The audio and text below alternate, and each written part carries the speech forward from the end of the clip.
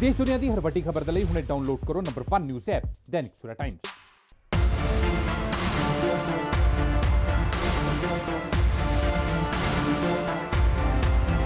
कल रात को, यानी कि 16-17 दिसंबर की रात को बीएसएफ के ट्रुप्स ने अमृतसर सेक्टर के तीन सफलतापूर्वक सफलतापूर्वक हमने ऑपरेशन किए हैं और तीनों ऑपरेशन में हमें कामयाबी हासिल हुई है। फ़र्स्ट ऑपरेशन जो मैं बताऊँ बताना चाहूँगा आपको कि वो बीओपी राजाताल के इलाके में हुआ, जिसमें दो आर्म्ड इंट्रूडर्स जो कि एक ऑटोमेटिक हथियारों से लैस थे एक के पास A K fifty six rifle और सिक्सटी वन राउंड और तीन मैगजीन थे। और दूसरे वाले के पास में एक magnum rifle point two two three bore एक मैगजीन और ट्वेंटी नाइन राउंड से ये अ, हमारा जवान जो ड्यूटी पे था उसमें पूरा कोहरा था काफ़ी और विजिबिलिटी बहुत कम थी। और कल आपको पता होगा काफ़ी ठंडी रात भी थी बट विजिबिलिटी कम होने के बावजूद जब आवाज़ सामने हुई क्रॉलिंग की आवाज़ को सुनाई दी तो हमारा जो संतरी ड्यूटी पे था उसने चैलेंज किया उसको।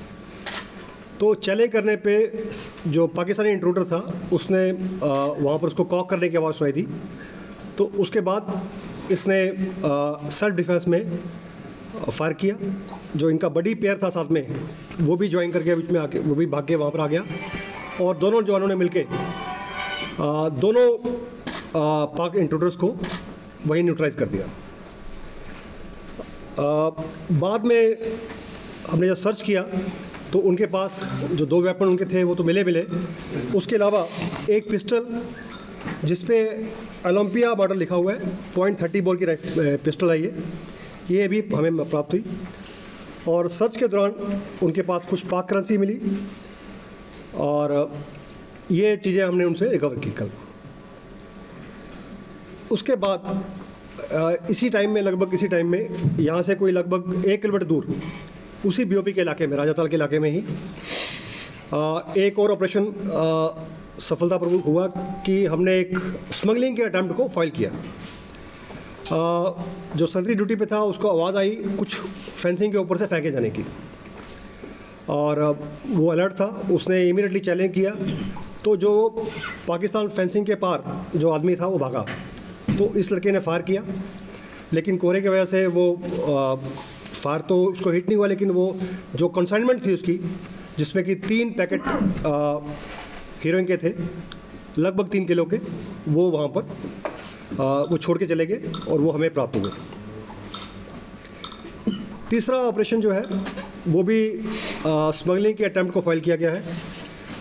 वो अ, दूसरी बटालियन के इलाके में बीओपी रामकोट के इलाके में था।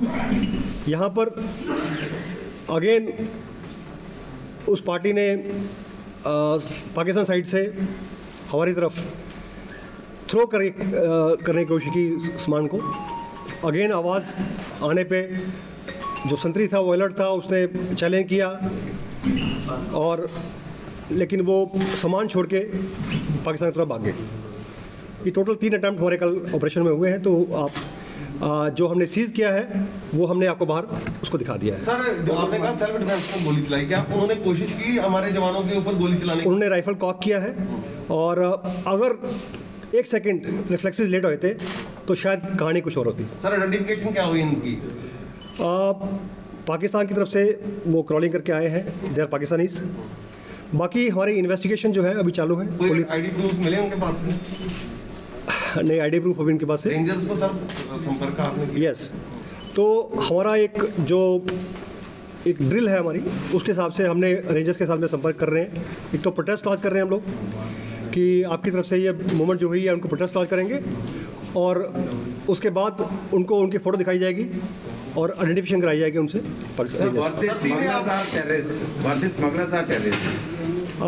See it's a matter of investigation and अभी बहुत ही प्रिलिमिनरी स्टेज पे हम हो हैं अभी। तो लोकल पुलिस बाकी इंटेलिजेंसी जो है सब मिलके हम लोग कुछ समय बाद बता पाएँगे आपको कि इनका इरादा क्या था ये कौन थे। लेकिन दोनों आर्म्ड इंट्रूडर से ऑटोमेटिक हथियार लेके फेंसिंग के पास आए हुए हैं।